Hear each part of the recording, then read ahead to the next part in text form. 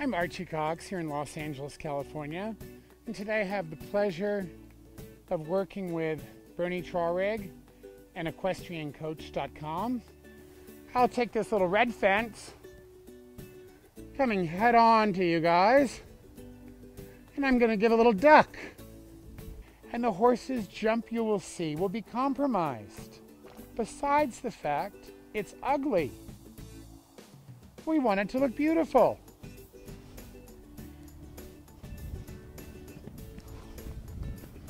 Oh, he didn't like that. I did it wrong. It pissed him off. It annoyed him.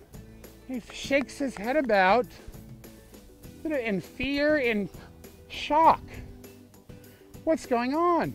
Now we'll try to have a good position. No head toss. No head toss. I want people to walk up to the ring and say, he did it right. And that's what I challenge every rider to say. To walk and say, I am doing it right.